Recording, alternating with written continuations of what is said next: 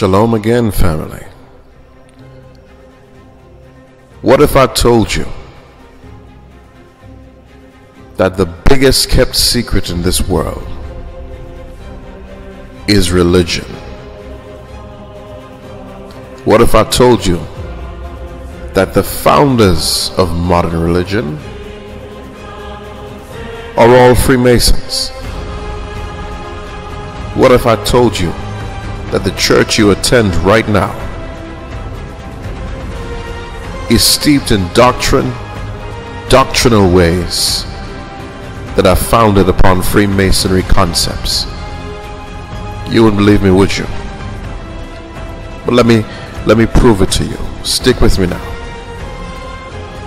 I'm going to embark on a series to decode, decipher, and to expose religion in the Caribbean and across the world. For this first installment of the origins of Caribbean religion, I'm going to be dealing with a couple of points. First, we're going to find out who the Freemasons are.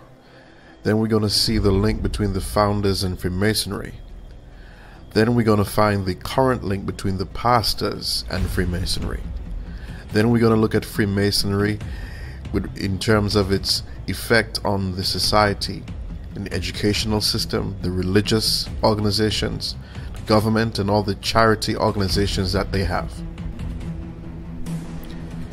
In every warfare, the first rule of thumb is to know thine enemy. We first must discover what is Freemasonry, who are involved in Freemasonry, and what aspects of Freemasonry affect us here in our society. What you need to understand is that the devil has his own army, flanked with knights, generals, principalities, and masons.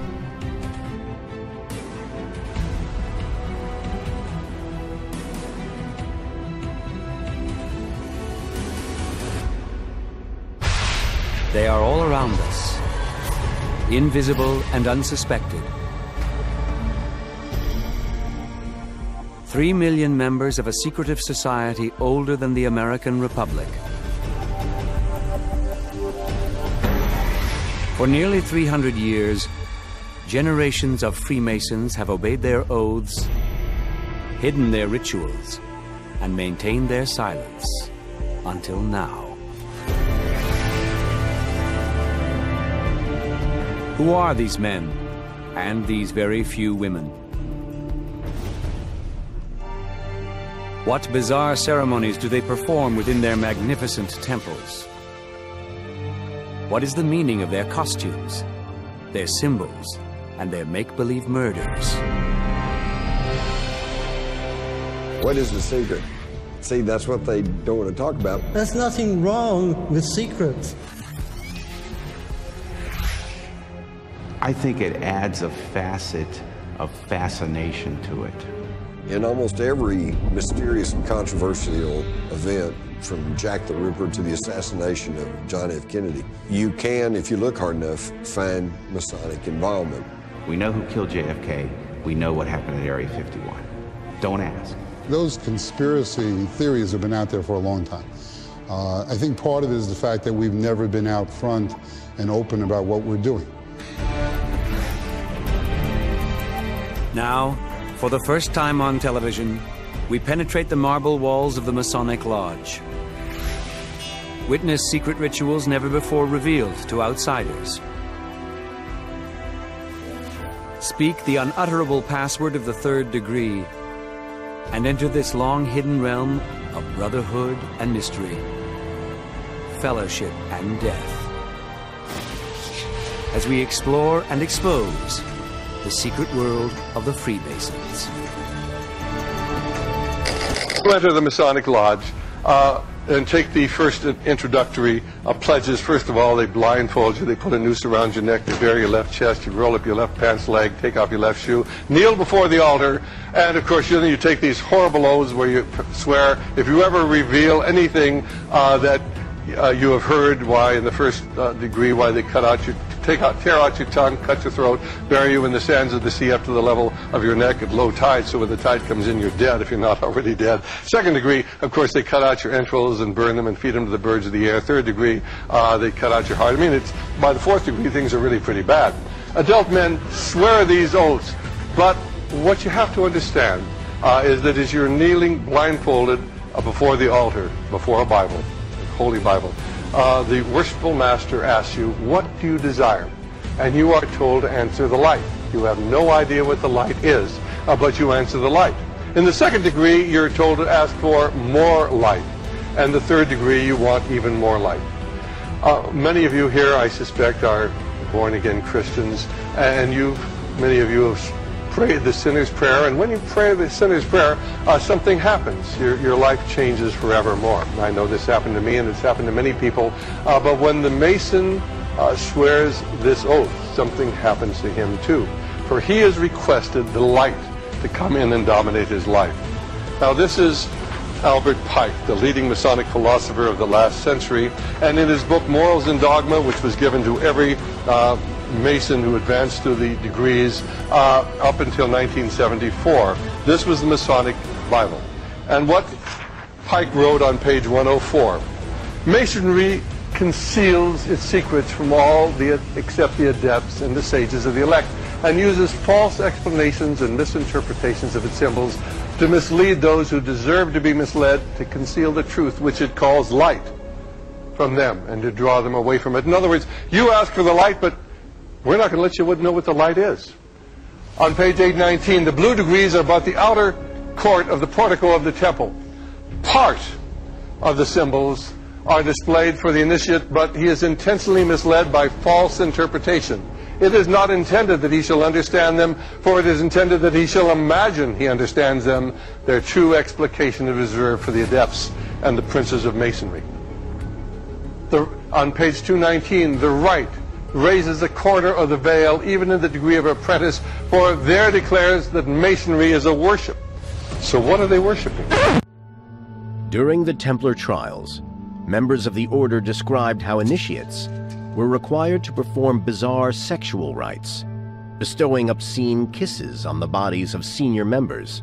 They confessed to spitting and trampling on the cross and denying the divinity of Jesus. The accusations have been levelled at the Templars are extremely lurid and have always attracted, for that reason, a great deal of attention. But they are there in black and white in the trial depositions, so we have to address them and, and assess them. But most shocking of all was the testimony that the Templars worshipped a sinister bearded head. In the trials, the head was described in various different ways. Sometimes they said it had two heads. Sometimes brothers described it as having four feet. Some said it was made of silver. Some said it was made of gold. It was rumored to be the preserved head of the first Templar Grand Master, Hugh de Payens. It was also described as a two-faced skull or the head of an animal. Some mentioned a weird idol known as Baphomet. It's possible the word Baphomet was a corrupted pronunciation of Mohammed. If so, some have suggested this is evidence that the Templars were secret converts to Islam. In the 12th century, the Muslim culture, the Muslim civilization was very ahead of the Western European uh, civilization. When the Knights Templar went to the Holy Land, they were uh, confronted with a culture that was very superior to their own. So some influences began to settle in the general ideology of the Templars. Well, on pages 839 and 840 uh, of Morals and Dogma, and I'm just going to take the bottom paragraph because this is the important one. It was the remembrance of this scientific and religious absolute. The absolute is capitalized, reflecting deity. of this doctrine that is summed up in a word of this word, capital W, deity. In fine, alternately lost and found again, that was transmitted to the elect of all ancient initiations. It was this same remembrance preserved, or perhaps profaned, in the celebrated Order of the Templars, that became for all secret associations of the Rosy Cross, that's the Rosicrucians, of the Illuminati, and of the Hermetic Freemasons, the reason of their strange rites, of their signs more or less conventional, and above all, of their mutual devotedness and of their power. In other words, if you get into these things, you will get power. Power that you cannot believe, and you will have great wealth. But at what cost? Well, when I went through Professor Quigley's papers, and uh, of course we found the interview with him uh, that we've already discussed, and if you get the interview, you'll actually hear him talking about these crazy right-wingers who come to him, and they show him that symbol, and they tell him that's the symbol of the Illuminati. And he said, that's not the symbol of the Illuminati. That's been around for 5,000 years. That's the symbol of the, uh, the, the mystery religions of antiquity, and that's what it really is. This is the symbol uh, of the mystery religions of Persia and Babylon and, and, and Egypt. Uh, this goes back to the ancient pagan religions, uh, which are the basis of all modern day secret societies.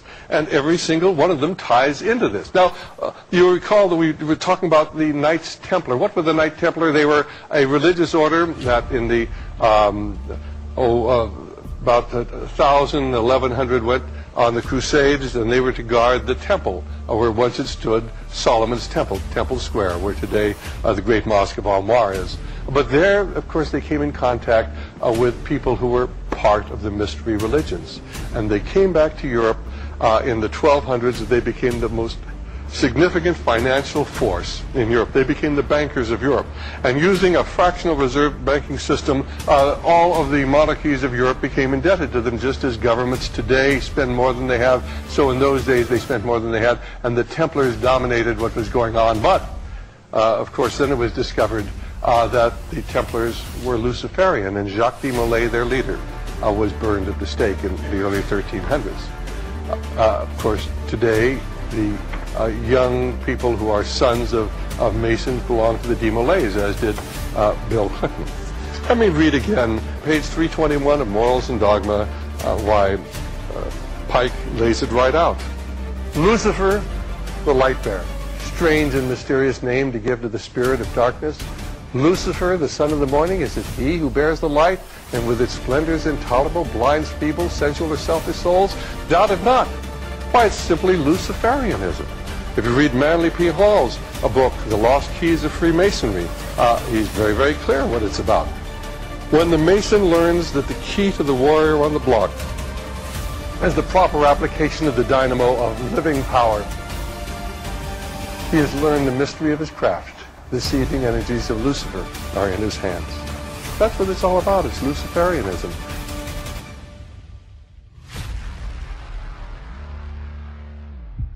If you watched the last video, you would have seen how your oppressors were able to steal your land, steal your freedom, steal your name, steal your father's name, and steal your heritage. But for some strange reason, you thought that they wouldn't steal your religion. How is that possible? You see, the Matrix dictates that there must be an illusion of choice, even in the confines of slavery. Your current oppressors learned the secrets of ancient Kabbalah, where they are able to control the hearts of men through sorcery, witchcraft, and alchemy. The Knight Templars got a hold of the keys of the world's kingdom. You know those keys that Hasatan tried to tempt Yahusha with on the mountain, promised that he will give him the whole world unless he did one thing bow down and worship him. The Templars did exactly that. They bow down, they worship.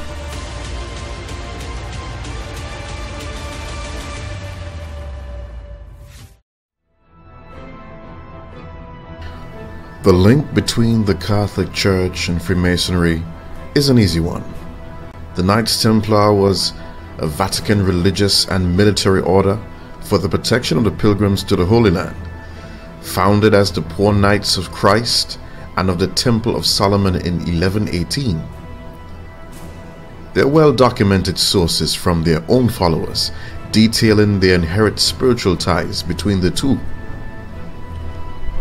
Freemasonry is a working front of the Knights Templar Order, the Jesuits, the Rosicrucians, who all came out of the Roman Catholic Church.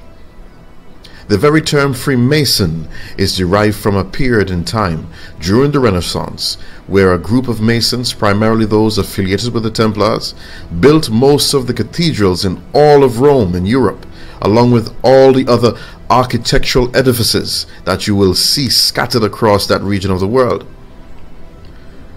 You see, the Templars became powerful and wealthy. Their arrogance towards the rulers, together with their wealth, and their rivalry with the Knights Hospitallers led to their downfall. The order was violently suppressed in 1312 by the King of France and tentatively also by the Roman Catholic Church. Many of its possessions were then given to the rival Hospitallers, also known as the Knights of Malta. To survive and to get revenge, the Knights Templars divided into secret stonemason lodges and other newly established orders. First, it was the Jesuit order, then came the Rosicrucian order, and then all the other Freemasonry orders that are still present today. But the order that is of the most interest for this topic of our founding religious fathers is the Rosicrucians. For out of this order came a following that would shock the Christian Catholic world. The Protestant Reformation. The founding father, the founding father of the Reformation, was none other than the head warlock of the Rosicrucian order himself, Martin Luther. The Rosicrucians believed heavily in the symbolisms of sigil magic and alchemy and on the very crest and seal of the Rosicrucian order is Martin Luther's initial. That's why so many church ministers, elders in Protestant churches, were Freemasons in the last 400 years. Even today, there are 1.3 million Freemasons in Southern Baptist Convention alone, all of whom revere the acclaimed Prince of Preachers, one of the biggest Freemasonries, Charles 33 Haddon Spurgeon. make a Luciferian covenant with the devil. It's a satanic secret society.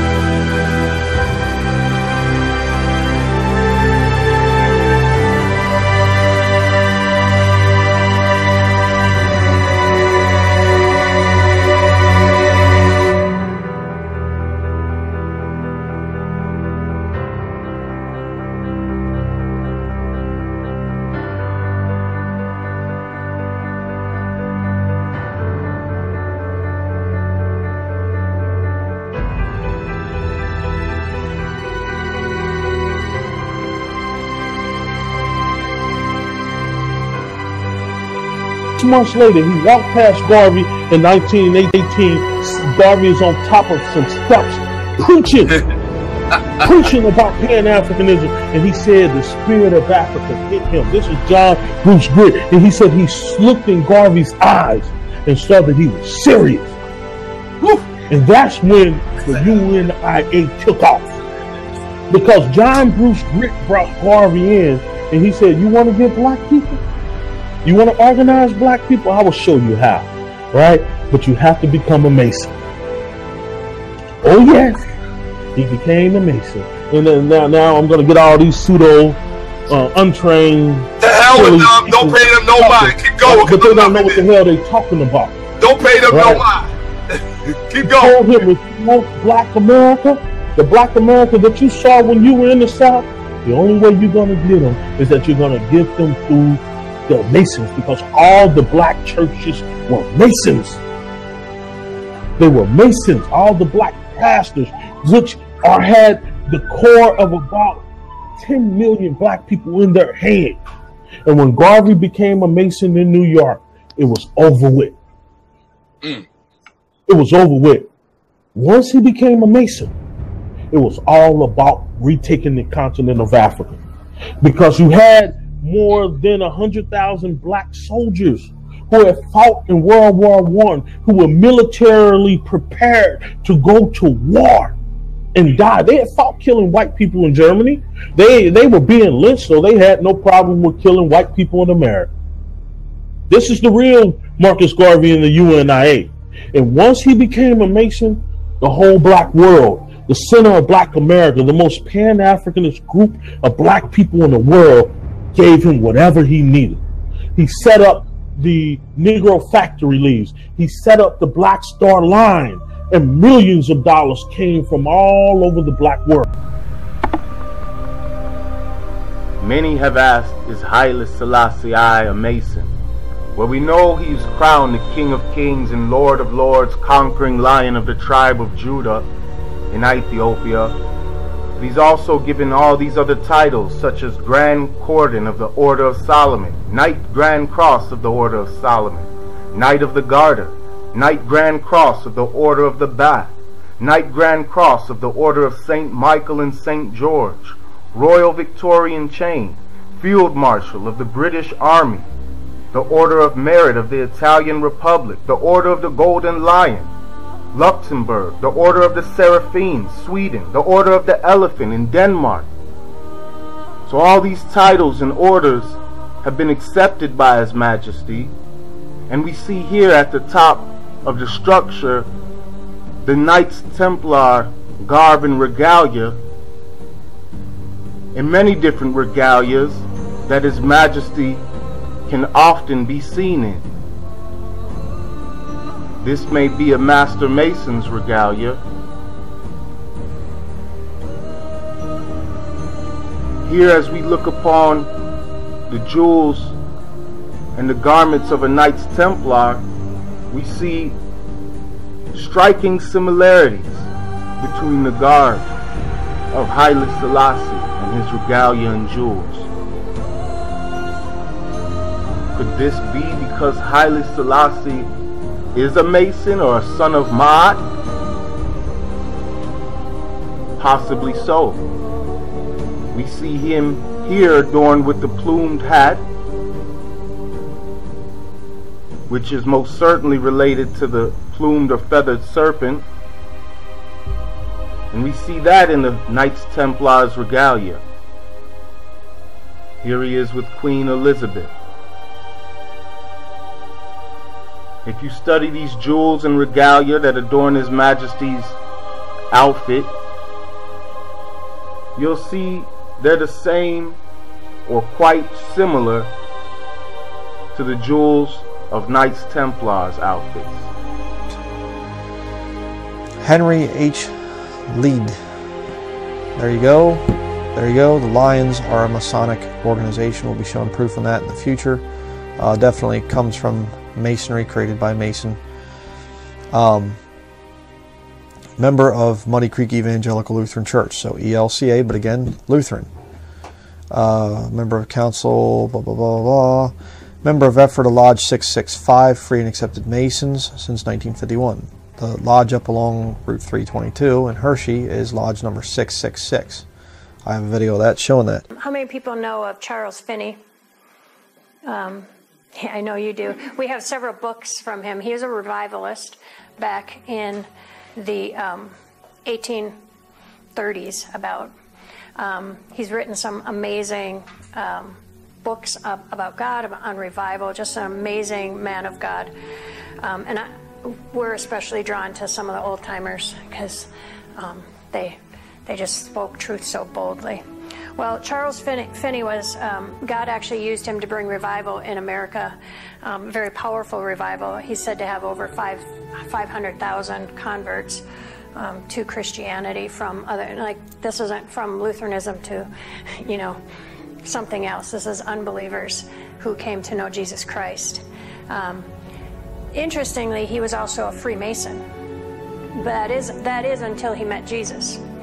Um, he experienced actually a dramatic um, conversion to Christianity. It's very fun to read what happened to him. But he, at the time, he didn't realize he had been in Freemasonry for about four years, and he didn't realize that it was evil. But soon after he came to faith in Christ, he had a lodge meeting. So he went to the lodge meeting, and he was asked to open and close in prayer, which he did in Jesus' name because now he was a Christian. Um, and he said, as soon as he closed the prayer, something, eh, Holy Spirit um, came on him, and, and he realized at that moment he couldn't have anything to do with the lodge or anything that it represented. Um, and he, in fact, after that, in that first, that only meeting that he went to after coming to know Jesus, he said he experienced everything he experienced at the lodge was monstrously profane and barbarous but he had been blinded to it before that. Um, he was alarmed, he said, at his own ignorance to how much had been imposed on him by Masonry.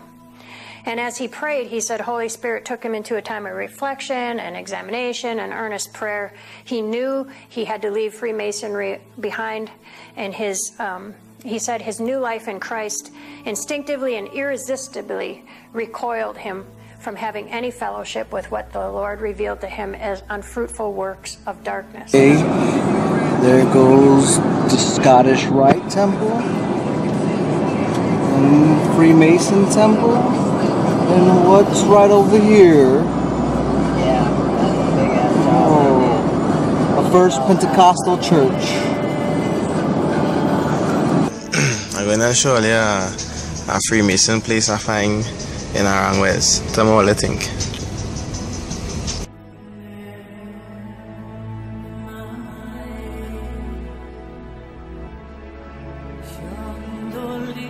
And you can see what the fruits were of that.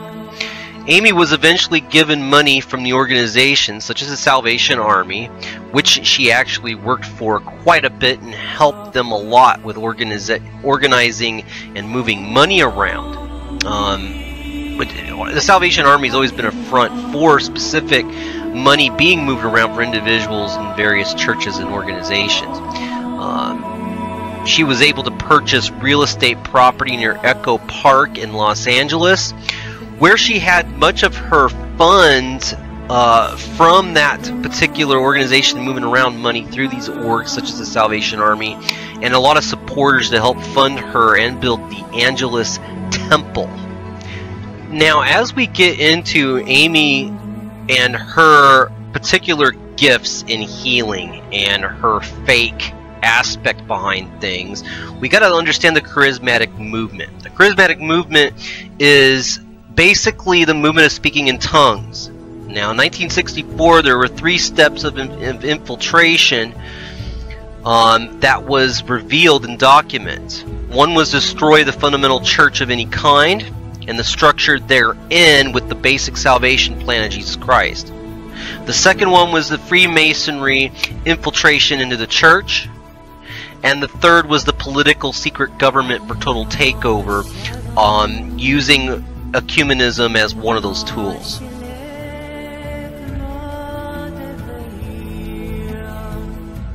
If you if you can see into all of the stupid and crazy stuff that's going on in this world today, if you can see how so many saints are so deceived and compromised, they don't even know where they are. They don't even know what country they live in. They don't even understand the nature of our responsibility as believers in a in a uh, republic. I was listening to the preacher the other night. And he said, you know, there were two foundations that this country was established on. Uh, uh, there were Christians that came and then there were those who were Masonic Masons and like George Washington and others, they were not truly believers. Let me tell you something. Let me, let me get the record straight right here.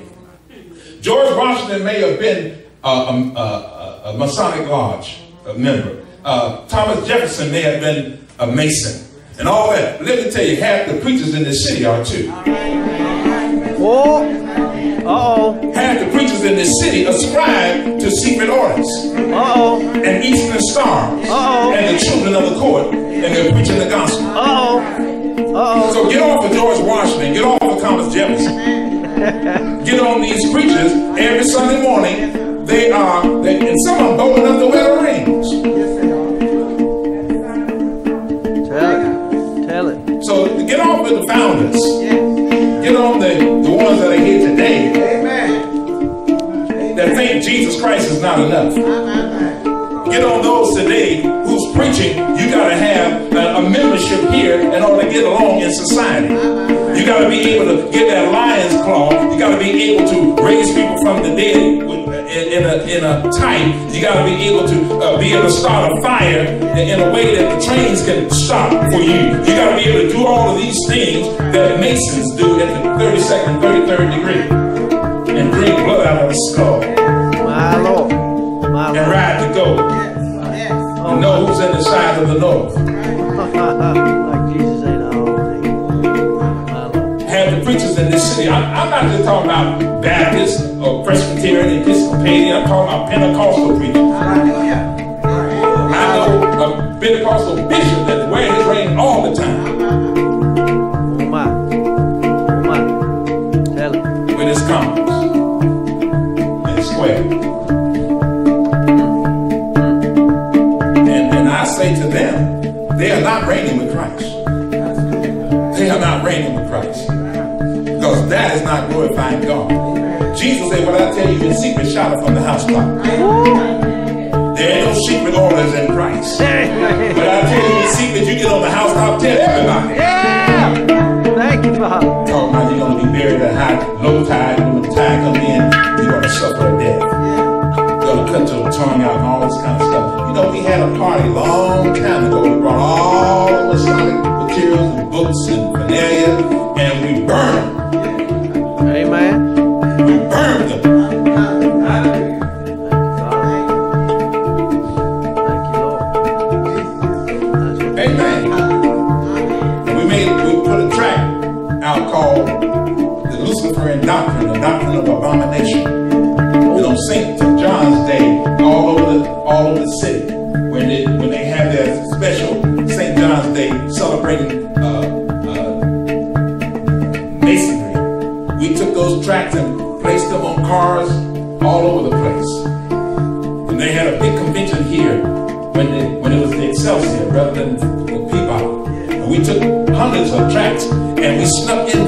at their big convention and threw it over the banister. They just floated everywhere and we ran. And you ran.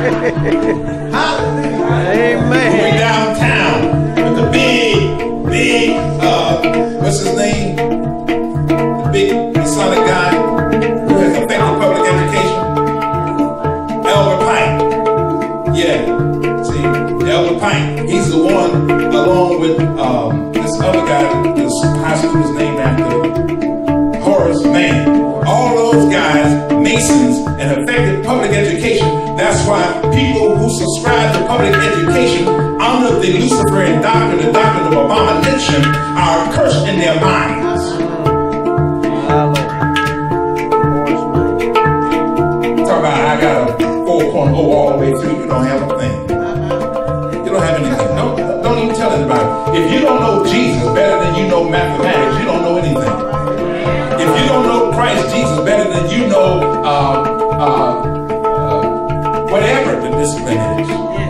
know anything. If any man think he know anything, he what? He knows nothing as he ought to. But if any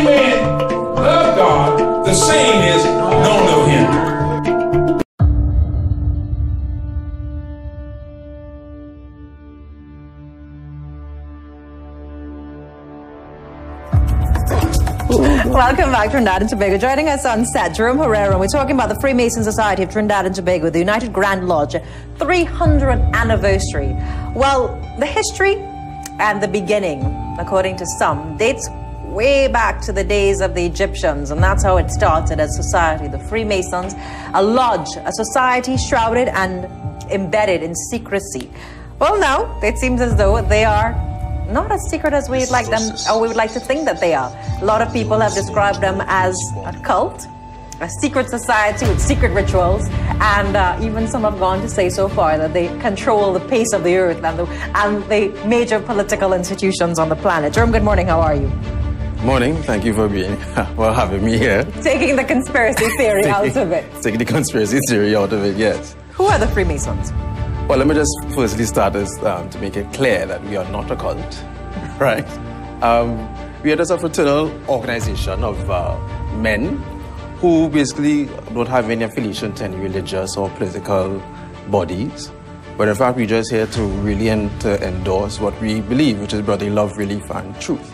That, in essence, is basically a focus on kindness, fairness, integrity, honesty. I mean, I could go on, but In the 21st century, is it still an all boys club? All boys, no. All boys, no. We there's two distinct. I want to I want to be very clear on that. Our the United Grand Lodge of England is a society where the men join, and there there there, there are no women within that particular order. However, there are other societies that also have the Freemasons concept within it, but also strictly women orders. And one of them, as example, is one where formed in 1919, which is the Honorable Fraternity of Ancient Freemasons. That is in England. And there are others that are all over the globe Brazil, America, and the United Kingdom. What is the purpose of it? Is it simply a, a frat, a, a all boys frat fraternity? You talk about respect, brotherly love, all of the mm-hmm. support, networking. You know, that's a very interesting question. What, what is I- the objective? What is the end motive of this organization? When I first heard about this organization, I, I was kind of intrigued by all the rumors, etc., that was going on. I mean, yeah, there's, there's the networks and the, there's all kind of conspiracies, JFK killing and all kind of madness such as that, right? And then I remember what Dr. Fitzgerald Batiste, deceased, who told me once, he said, you know, um, people in general, what they don't understand, they fear, and what they fear, they either ostracize, demonize, terminate. And uh, it made me want to understand what it is because the truth will always come out to people who want to see it, the brave and the bold. So when I, when I looked at it, I realized that Freemasonry, in essence, is what we say it is. It's really and truly a society that when you come together, camaraderie, is not to really and truly raise your station or, or, or, or to, to, to make you a superstructure, but really and truly it is there to make you a better man. How does it do that? You know, a lot of people see it as a networking tool, and I say that some of the greatest leaders on the planet. Uh, you have the lines of American presidents have all been associated with the Masonic movement. Very true, very true. Winston Churchill, etc. But the other simple ones, like myself, for example, right? Um, is also Nat King Cole, who was a Mason. And uh, a lot of musicians, there's Clive Lloyd, who was one, uh, uh, our old cricketer from the West Indies. But it really focuses on what we have a saying, which is make good men better. And in doing so, I realized that within the last year, which was basically what is a good man, or how we could, as Masons, make you a better person. And better person means that you have to be a better caregiver, father, husband. How has it benefited you? What has made me de- definitely more patient, more tolerant, understanding to, understanding to people where who don't sh- share your same ne- necessarily your religious values, but who actually have some form of common moorings with what you look at, or which you, how you feel about society, or you feel about women, or you feel about sons, or you feel about children, or you, you feel make about your own thing. it seem like a one love movement, but yet there are all these, uh, all these stories about becoming a member uh, that you have to go through these rites, these rituals, and it's a huge screening process. That you have to be asked, you have to be approved. Well, that is true. There's, there's, a part where So I can't come and be- say, you know, I want to be one of the be- females in the Masons. You can. You can. And I just I just told you what, what you can do. You, you could actually go to organizations which are Freemasons for strictly women. And actually I'm trying to encourage women of Trinidad and Tobago, or someone who I actually speak to, to really and truly ask that particular order which I just referred to. And you can actually they are online right now, which is H A hfaf.org.uk. Find them and ask if they could come down because I, I understand that they were in Jamaica or they're trying to reach Jamaica. And Trinidad and Tobago, I think a lot of people will be interested in it. I say, I hope so. You're, you're having an interfaith service. Uh, a lot of people think of it, and you started off, it's not a cult, um, as religion and the Freemason movements do not go together. What is the interfaith service about? Well, you're, that the religion, we, we are not a religious organization. I'll say that one, one more time. But because it's an interfaith service, we acknowledge as Masons, you must have a belief in a higher being. And we have, we have brothers of people who are of different faiths Hindu, Baha'i, Buddhist, Christian, Muslim, etc. All these faiths actually come here to really explore themselves on a moral basis, not spiritual. Spiritual connotes exactly what religion or faith you adhere to. But your morals is something that's different. Your morals is something that's more innate. And I say innate because you as a man will know exactly, okay, thou shalt not kill. And that goes basically across the board of most faiths. So the interfaith service really and truly is where we could come together and really really give thanks to the 300 years that we are celebrating for all people of the different faiths. So it's not 300 years of world domination. No. Uh, and this is really about demystifying uh, what's taking place um, in the Masonic movement. How many Masons do you have in Trinidad and Tobago? We have over a thousand members in Trinidad and Tobago. And they are. Thereabouts. And when you think of the Masonic movement, Jerome, you normally think of people who are in the upper echelons of society, that they are the movers and the shakers and those that shape the direction. I mean, you, you've read the stories from the days of the building of the, the pyramids, that they were the ones that kept the secret as to how they were built. That is true. But um, I read a lot about this thing, which is very good. I like that. And the thing I read a lot about a lot of things. that we know, eh? And what we what I could say this to you is that yes, there are Masons who are at the upper echelons of society. That is that is this reality. But the other fortunate reality is this: there are Masons who are not there. We cater from people who are the of the highest spoke of fortune's wheel, also to the lowest spoke of fortune's wheel. It's really open to everyone who is intrigued and interested in making themselves a better person.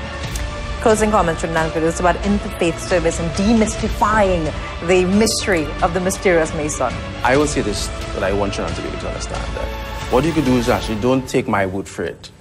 Go online and do your own research. Is United Grand Lodge of England has their own website, ugle.org.uk, and there's also a series called Inside the Freemasons on Sky Series. And go and look at it. And the interfaith service, I encourage everybody to come. It's open to the, to the public. And you don't have any strange rituals? No, not strange. And strange is actually quite subjective, isn't it? But it's a rituals where it's plays that we carry on to show exactly what you go through various stages of your life. And there are no rituals attached. You know, there are rumors about uh, Eric Williams, who is a Mason. As I know, Eric Williams was not a Mason. Dr. Eric Williams, the Honorable Prime Minister, was not a Mason. Something you learn every single day. Jerome Herrera telling us a little bit about the, the Masonic movement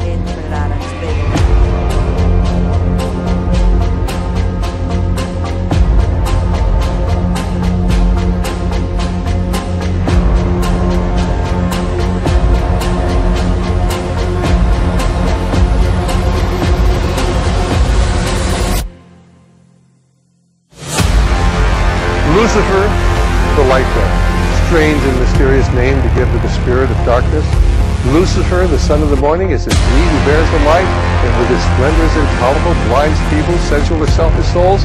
Doubt it not. Why, it's simply Luciferian.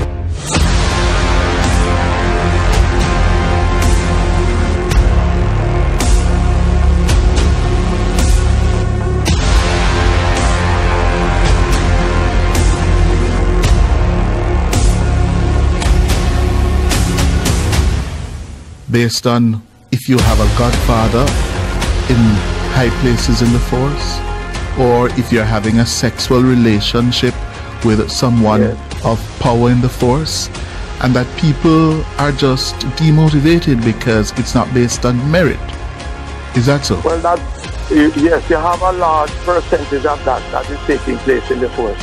Large, large percentage. I remember when I was an inspector, waiting about, not rather, sergeant, waiting for almost 15 years to be promoted. And then Macmillan came in and I made my observation to him. You know, when I checked the record at the time, the last five summer commissioners of police happened to be large people And I'm saying in a small population as the large does in Jamaica, how can the last five commissioners of police could have been promoted to the rank of commissioner? And when I investigated and found out that organization, right, it would seem to me, based on some evidence, had great influence on the force as to who became commissioner at that time. And it persists under that it has spread. As you made mention of some sexual connotation, friends, the church, the bar, we drink together, who carry the most news, who carry the best news, who is most destructive to one another. And we end up, the converse is also true. We have other people that I would call scraper you put in a round hole, and you want me to observe the converse. You have your own hole that you put in scraper also.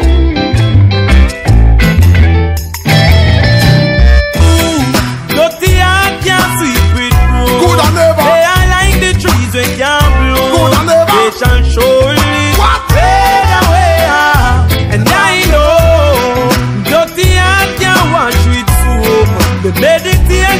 sublime hope, and they shall slowly fade away. Well, granny tell me friend, don't trip. So from the other day you see, friend we don't creep. A family we say because, and everything we come and show it and your friend. First if you're making money, all enough. Last them raised like the sheep, back a nickel more peep. Watch them and never quit. Don't sleep, cause when you the sleep you won't see it. Boy, boy, boy,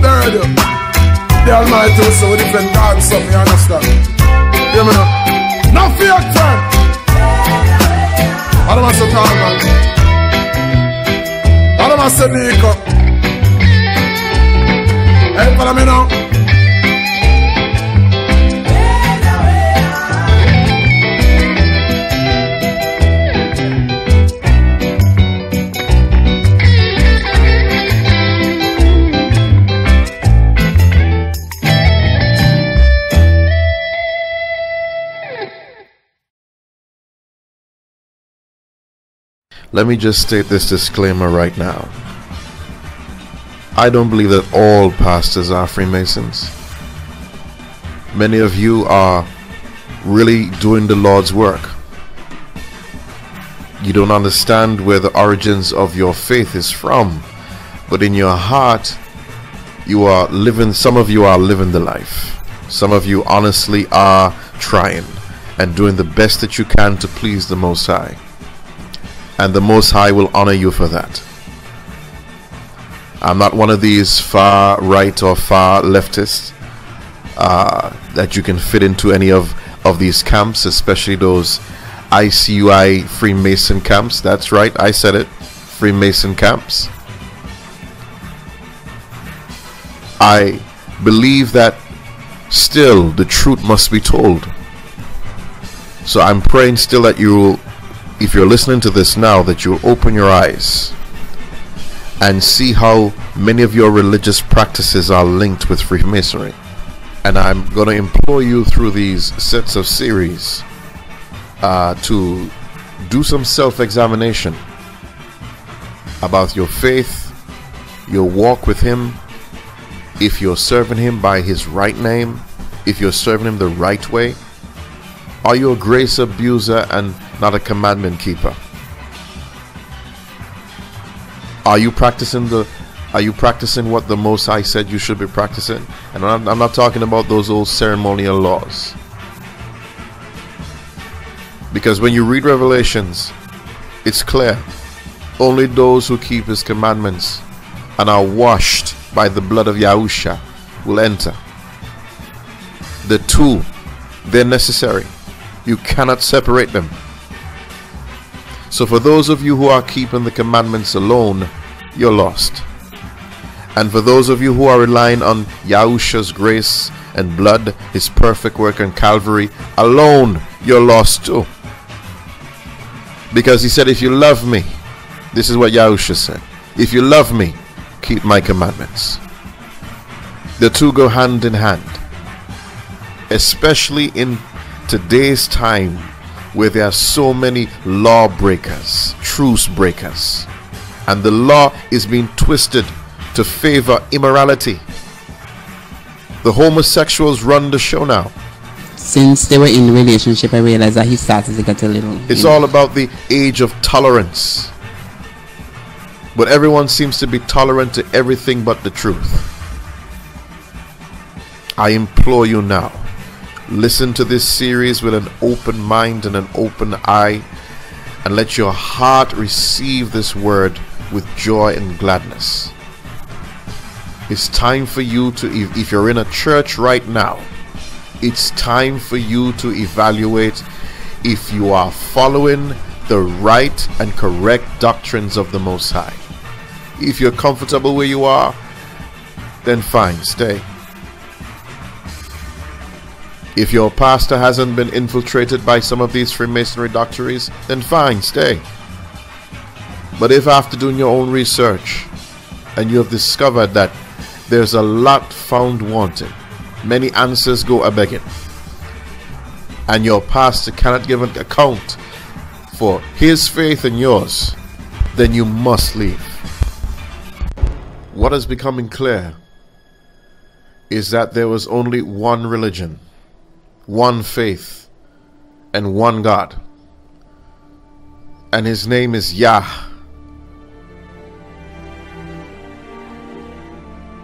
It's also been proven that we are Yah's chosen people. And when we were taken from the coast of Africa, Negroland, we had our own faith that one faith, that one religion.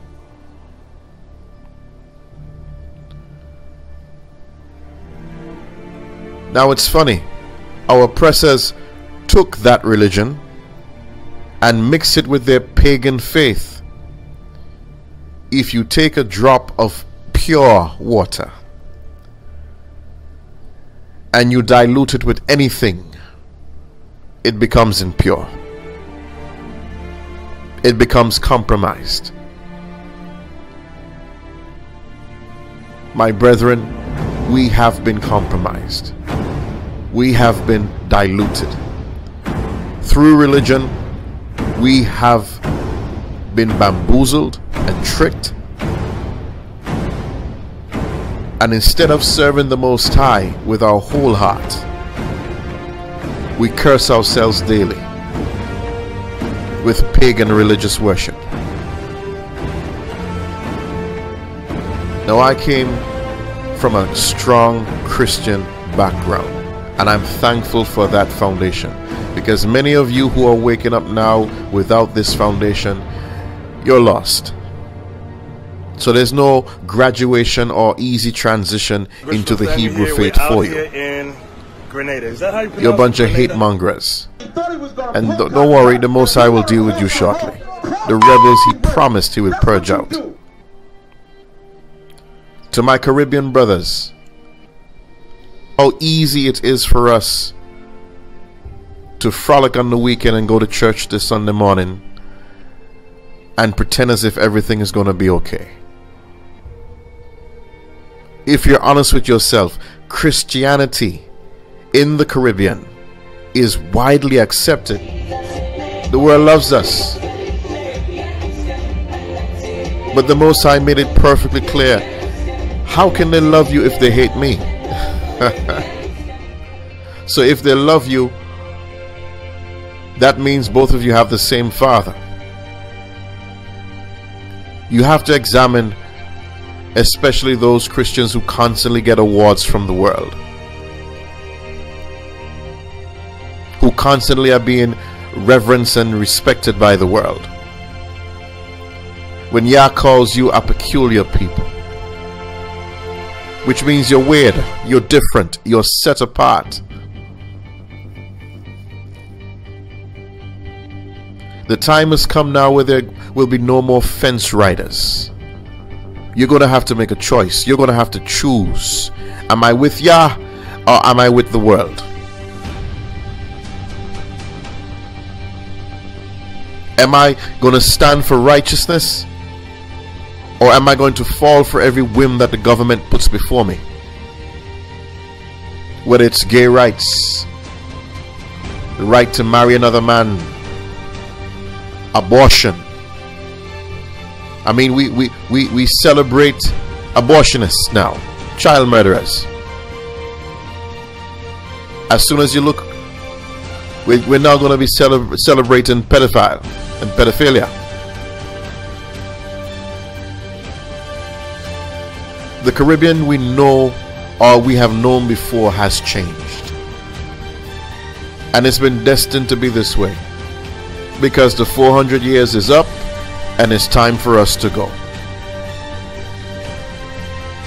Yah is waking up his people and he is consecrating our hearts to be disciplined followers, to be fervent followers, to hearken unto his word, not to be hearers only, but to be doers as well.